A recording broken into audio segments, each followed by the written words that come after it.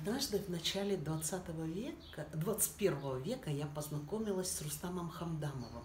И вот это художник мирового масштаба, он кинематографист, но он очень красиво умел делать наброски с тех фигурок, которые его вдохновляли.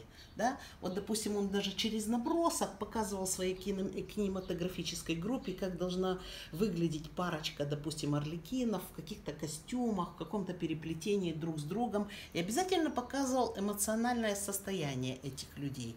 Я взяла пример у нашего Рустама, и мы с Владимиром начали делать вот такие наброски с живой натуры – много. У нас два чемодана таких набросков. И вот что они, лежат эти наброски и лежат? А ведь это составлялись одежды для этих людей, ставились их в определенную позу, да? Что-то надо было с ними делать, чтобы они продолжили свою жизнь. И они свою жизнь продолжили в композициях, потому что не всегда пригласишь позировать на композицию, там, где люди участвуют, живого человека. Да и когда живого приглашаешь, все равно получаются некоторые казусы, потому что рисуя человека, художник не принадлежит себе. Он делает то, что хочет натура. Натура все равно диктует, девочка с персиками все равно сидела и диктовала Серову свою духовную составляющую, да, как она эти персики трогает, все, все равно не Серов там главный, а девочка с персиками. То же самое у нас. Поэтому мы, как старые мастера, берем наброски свои, которых очень много у нас с Володей, и на перебой их листаем и смотрим, какие образы подойдут, допустим, к венецианскому карнавалу, который здесь мы зафиксировали.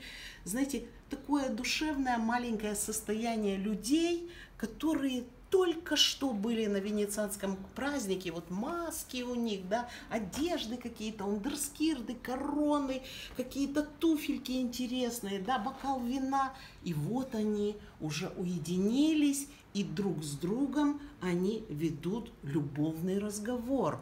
А любовный разговор зависит от того, кто начинает этот разговор и что он хочет от своего второго, второй половинки. В данном случае – мы назвали эту работу «Голубая роза», потому что девушка Жаклин что-то имеет к юноше, которого зовут, сейчас вам скажу, э, Жульен, да, Ж, Ж, Жульен и Жаклин.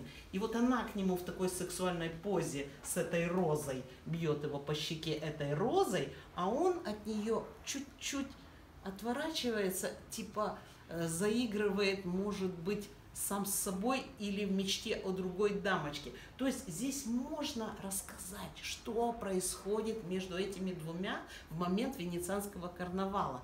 И очень даже это интересно делать. Понимаете? Но не начинайте сразу с многофигурной композиции. Сделайте однофигурную или двухфигурную композицию, чтобы вам было что рассказать о ваших э, главных героях, и, конечно, антураж тоже немножко надо сделать. Чем хороша эта композиция? Она не дописана немножко.